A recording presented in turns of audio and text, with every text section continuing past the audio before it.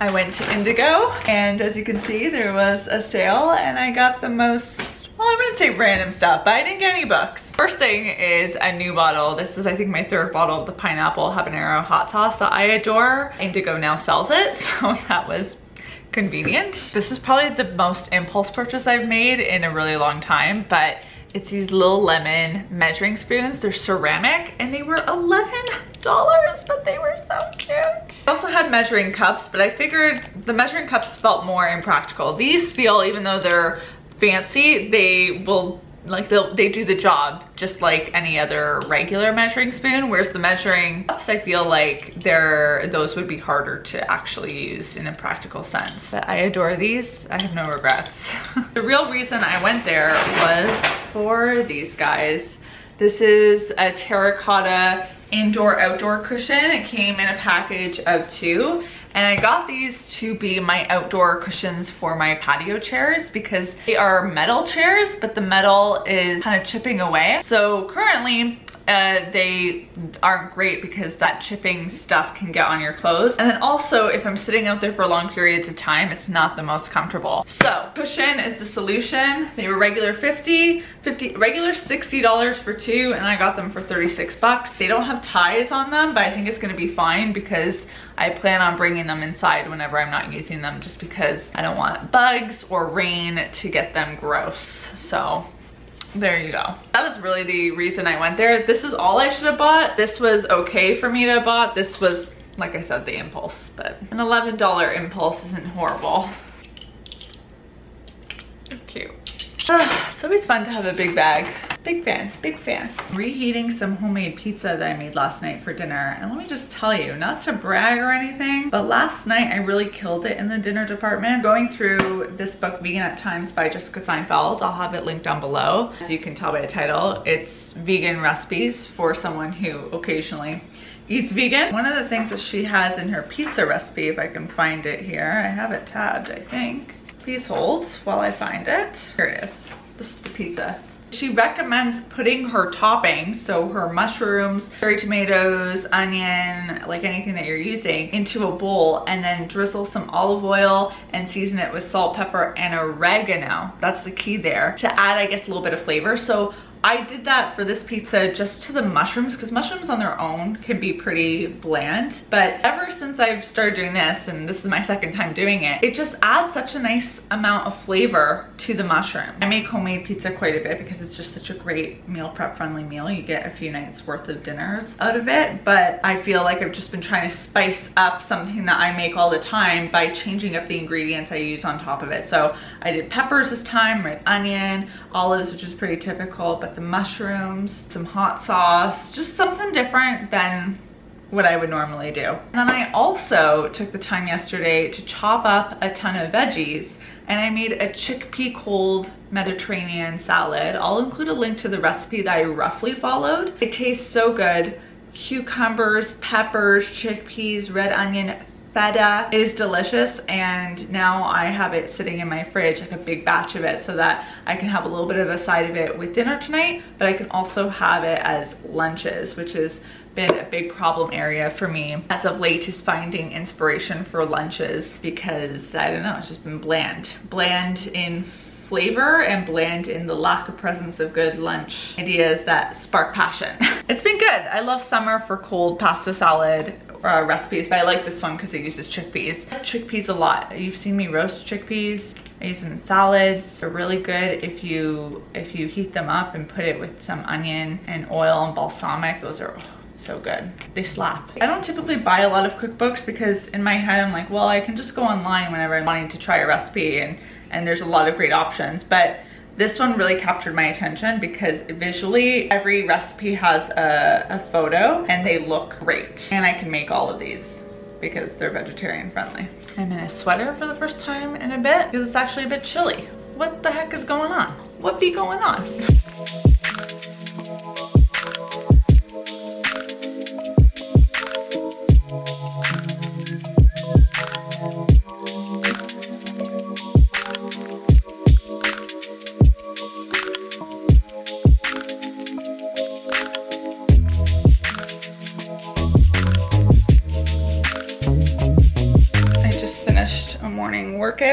Because I haven't been doing my workouts in the morning lately. I think I've talked about how I've been doing them more at the end of the day or at lunchtime. And this week I just feel like my brain has gotten a little cluttered and it probably would be beneficial. One of the benefits I think to a morning workout is getting some of that energy out sooner rather than later. I look naked in this shot, but I do have a sports bra on. I know Pilates is kind of like the trendy workout right now, but what I like about it and why I think beyond the trend, I, it will be something I come back to is because it's really hit me how great it is at combining movement that gets you sweating, which feels very empowering to me. Like I like a workout that makes me feel like I pushed myself. But it also has the breathing, the focus on the breath that yoga often has. And that's one of the reasons I love yoga is how much it trains you to think about your breathing and to use your breath as a tool to get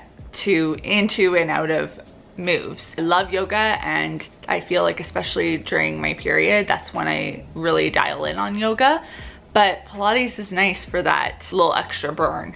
Also, again, really intense focus on breath work. And I really like how Move with Nicole brings your attention to the, the breathing while you're going through the movements because when you're not breathing properly, the moves are much harder than when you are matching your movements with the breath. It's kind of wild mind blowing. Long story short, I've been uh, a big fan of it. Hydrating also in my thermo flask. Kind of bringing it back to the breath work point. I feel like I've been really bad at meditating as of late. This year has been a non-good meditation year and I like it when I can kind of do a BOGO deal, a two for one special with getting movement in and also making it a therapeutic experience because if you're focusing on breathing in and out, it kind of does not exactly the same thing that meditation does because when you get into a deep meditation, or at least for me, I feel like I'm I'm floating. I feel like I can sense everything in my body and it's a really cool sensation when you can get to that place. But the act of like just focusing on your breathing, it kind of lets everything else escape your brain, which is one of the things that you kind of get from meditation as well is allowing thoughts to come in and out but not fixating on them. But there's not much time to fixate on things when you're cursing your instructor for making you do another round of curtsy lunges. That was the devil today it was a curtsy lunge. I was like you I do shit talk my instructors also they can't they can't hear me. But I will toss it out at them in a loving kind of way but in an also why are you making me do another round of these? That's just rude. Okay, time to go make brekkie. I think my stomach is actually going to murder me if I don't feed it. I'm just gonna make some eggs, but do you wanna see what $50 got me this week? Prepare not to be impressed, it's not fun. I got two loaves of rye bread. This is from Stone Mill. I really like Stone Mill breads which is funny because some of their breads that I get have seeds in them, like on the top crust. And I distinctly remember as a child despising bread with seeds. I just thought it was way too healthy to be enjoyable. And don't get me wrong, a white loaf hits different all the time. That's There's nothing that's ever gonna top that. But this one I really like too, the rye bread, if I want something a little bit more plain.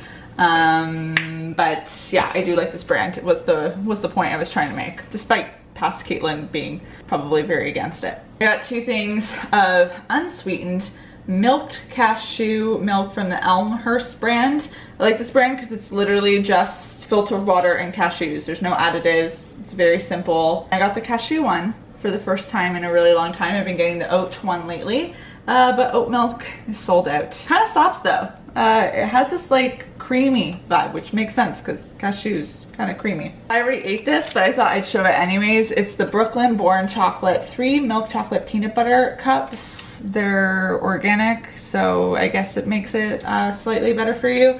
But really, this was the impulse buy when I was on Instacart. I was like, you know what? I do want a treat. And it was delicious. Can't complain. And I also got Dr. Bronner's Pure Castile soap, the unscented 18 in 1 baby version. And this is what I use for body wash. This is what I use for shaving. This is what I use for, those are the two things I use it for, makeup brush cleaning. It's just all good. And that was it. I know I touched on the fact that inflation and all that stuff is a thing. And you know, not the funnest thing to talk about between you and I. I totally get that. Um, but I will say that I think if you shop a little smarter, it really does help combat some of the impact at the grocery store. Not necessarily shopping for your weekly needs, but shopping for what the deals are. Does that make sense? You know, if my bread is on sale this week, that's when you get two or three loaves to put in the freezer for the following week so that you don't have to buy it full price the next week. It requires a little bit more planning and patience and sometimes I fold like a piece of paper. Uh, but when I am able to have a little thought process there, it works out well. I could truly go on a whole rant about the price of cheese. My God. It is crazy. Anyways, enough of that real life non-fun talk. Uh, I think I'm going to actually take advantage of my balcony today and do some work outside. I think some fresh air, a change of scenery, changing up the regular routine in a simple way, like working outside, is kind of what I need today. I'm excited to test out those cushions.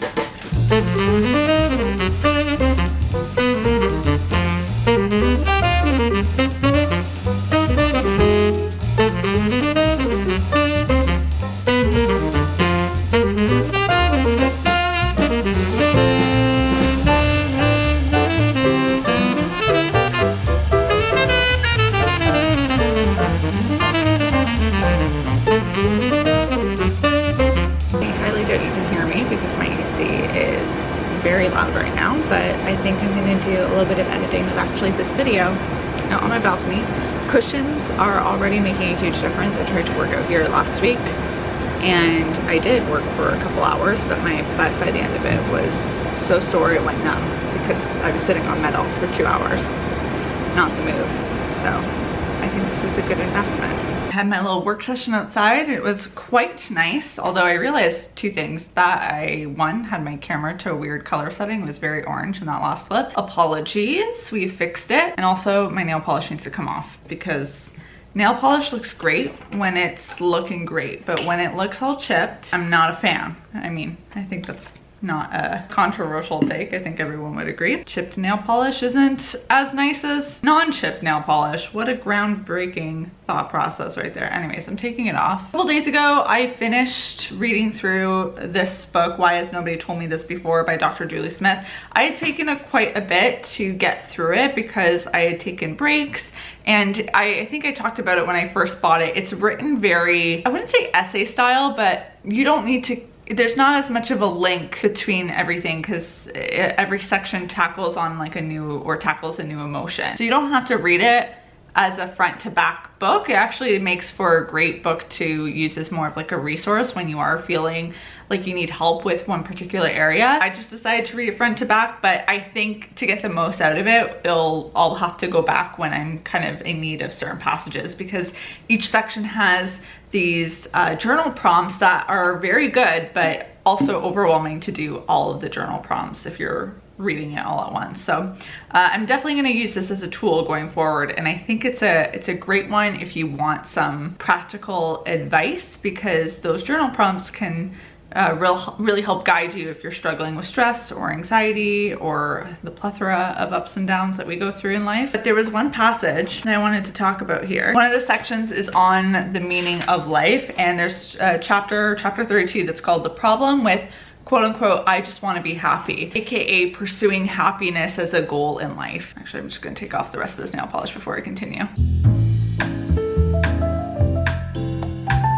We are in the clear. Okay, continuing on. We are given the impression that happiness is the norm and anything outside of that could be a mental health problem. We are also sold the idea that if we can achieve material wealth, happiness will arrive and stick around. But humans are not built to be in a constant state of happiness. We are built to respond to the challenges of survival. Emotions are a reflection of our physical state, our actions, beliefs, and what is going on around us. All of those things are constantly changing. Therefore, a normal state is one that constantly changes too. And then ba ba ba ba ba, buying into the idea that happiness means constant positivity can leave us believing we have failed when we feel down. We feel like we are getting something wrong or we feel afraid that we may have a mental health problem. Thinking in that way then makes that dark, cloudy day even darker. Sometimes we are not happy because we are human and life is difficult a lot of the time. I love this passage because I know for me personally, I've had these moments where, you know, I'm, I'm happy in life,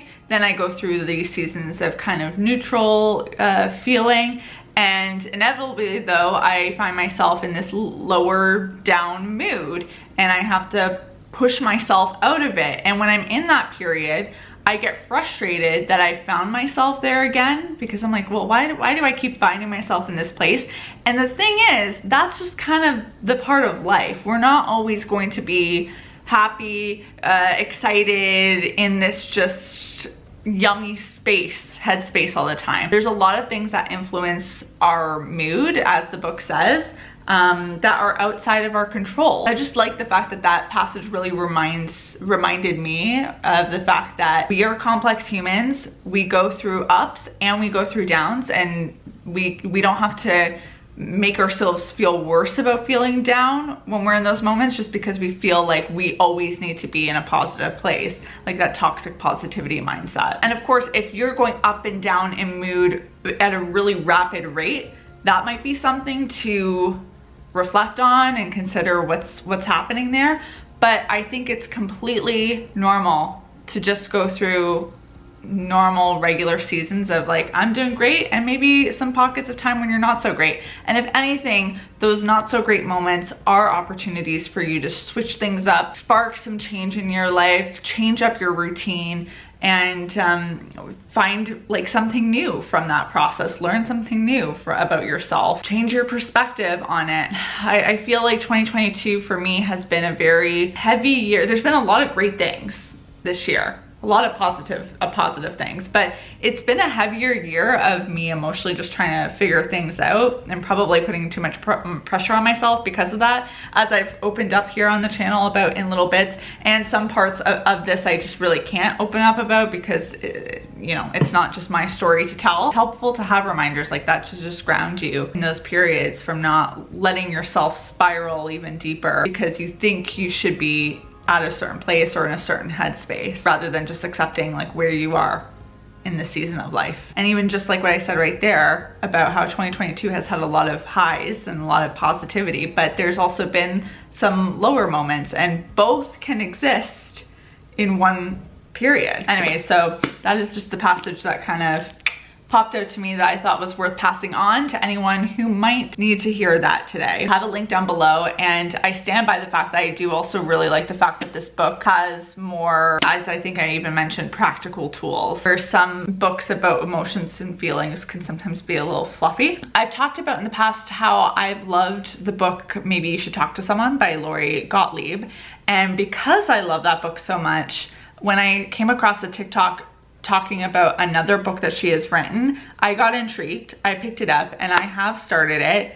Bear with me with the title. I feel like it can hit you in the gut. It's called Marry Him, The Case for Settling for Mr. Good Enough. I can see the tone of where we're going with this, but I do, like I hesitate to wanna talk too much about it until I read the entire book because I kind of want to get or understand the real takeaway here because I think it's gonna be more than just this very controversial title, you know, like why do I have to settle for Mr. Good Enough?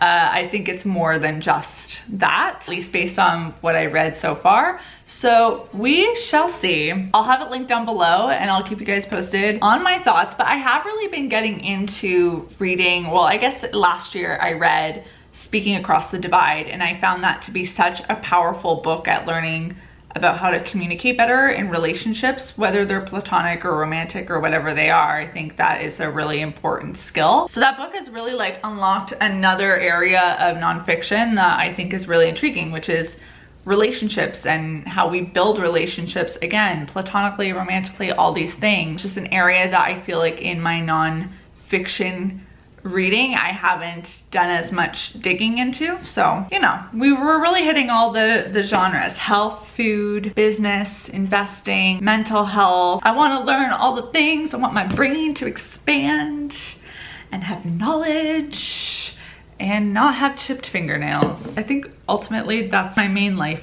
wish. Not happiness, but good nails all the time. Actually, not really. I, I don't I don't really have that much care for uh, nail work, but if I could just snap my fingers and have them nice all the time, I would definitely be down for that. Minimal work for me. Okay, this is really getting off track. I'm gonna go put this away now. Maybe it's the nail polish remover getting to my head that's making me just like actually ramble on and on and on.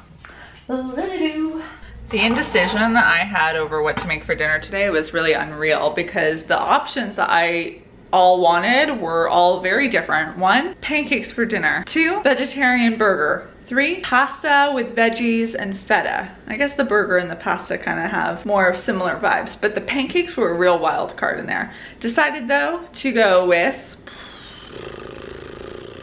that was my drum roll. Pasta, we're doing the veggie pasta because uh, a couple weeks ago when I was making pizza, not the time that I did it in this vlog, but I had extra toppings and on Instagram I said that I put the extra toppings that were sliced up in this stasher silicone bag and kept it in the freezer so that I could use it for a stir fry. And this is me about to use it for a stir fry. I also have some chopped up zucchini here. Now I'm just anxiously waiting for the pot to boil and for the pan to heat up. Actually, this probably is already ready to rumba. I don't know if I've updated you on these pans, but it's been over six months since I've had them. And I'm still very much so in love with the Caraway. You do have to be very specific with how you use them though, in terms of you can't use them, part of the instructions when you get them is not to go beyond medium heat on them. So I keep it just below medium so that there's no chipping away of the inner coating. The outside also hasn't chipped too much. I have a few little nicks, but it's right at the bottom. It's not on this part, so that doesn't bother me so much. Here's my little baggie. I'm just gonna toss it all in. The only thing I wish that this pan, this size pan, had was an accompanying lid. I use the lid for the bigger pan and just because it's flat, it can just go over it, no problem. I'm gonna use a penne pasta today.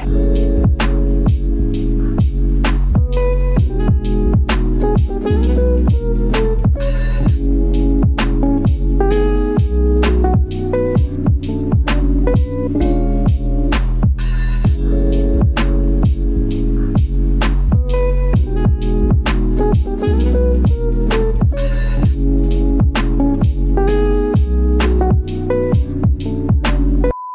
truly just made one of the worst dressings I have ever made.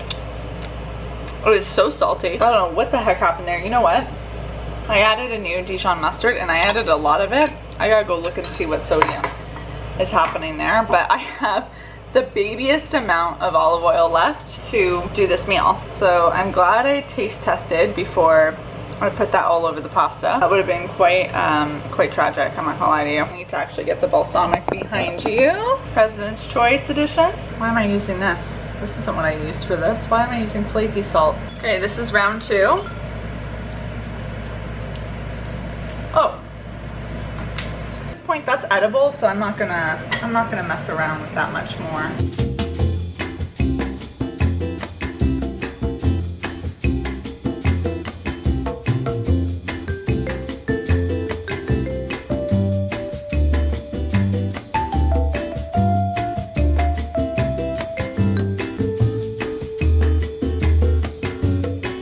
Doubt, add feta. For a dish like this, I want some good chunks happening.